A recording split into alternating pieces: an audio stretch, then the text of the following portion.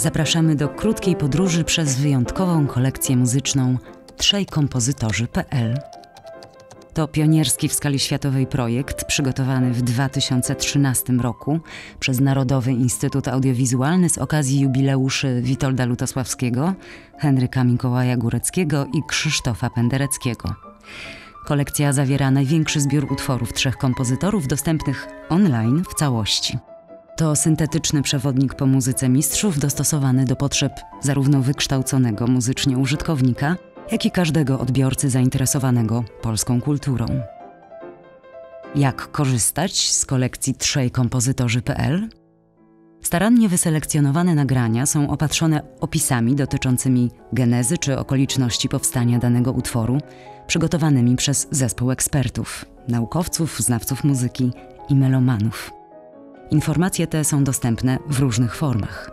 Zanim przejdziemy dalej, proponuję zmienić utwór. Dzięki temu odtwarzaczowi możesz niezależnie odtwarzać muzykę w tle.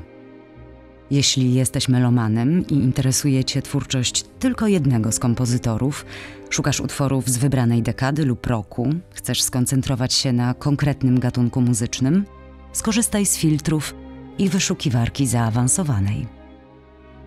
Na stronie wybranego utworu znajdziesz opis oraz obszerną metrykę z informacjami o wykonawcach, czasie powstania i prawykonaniu utworu czy proponowanej dyskografii.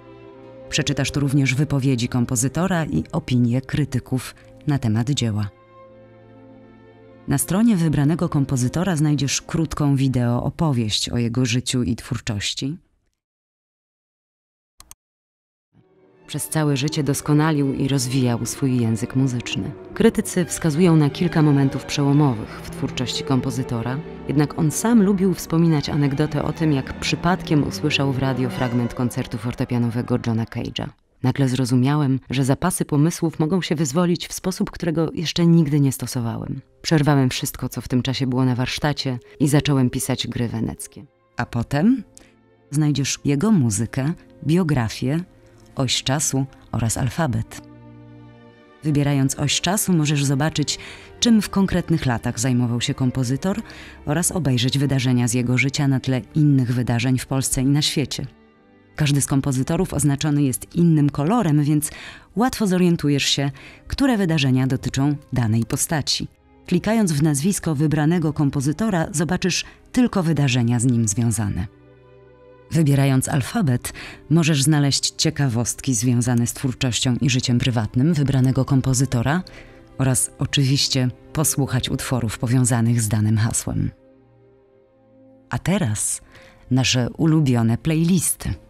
Jeśli nie jesteś znawcą muzyki i dopiero poznajesz twórczość mistrzów, skorzystaj z playlist przygotowanych przez znanych muzyków, dziennikarzy muzycznych, kompozytorów, dyrygentów, muzykologów i ludzi bliskich kompozytorom. Obejrzyj wideo, gdzie przedstawiają swój ranking ulubionych utworów i kliknij przycisk po prawej stronie, by ich posłuchać. Jest właśnie ta płyta Góreckiego, którego ja szukam już od roku. E, pytam się, ile kosztuje ta płyta. No płyta kosztowała 38 groszy, a piwo wtedy kosztowało 5 tysięcy złotych. Więc ja mówię, no to poproszę wszystkie, jakie są. No były akurat dwa egzemplarze, no i kupiłem. No i rzeczywiście to była płyta, którą jak zdarłem jedną, to, to, to, to na szczęście miałem tą drugą. Serwis powstał głównie w oparciu o materiały pochodzące z archiwum Polskiego Radia, które zostały zdigitalizowane na zlecenie Narodowego Instytutu Audiowizualnego w ramach programu wieloletniego Kultura Plus Priorytet Digitalizacja. Zapraszamy do oglądania i słuchania. Życzymy miłego odbioru.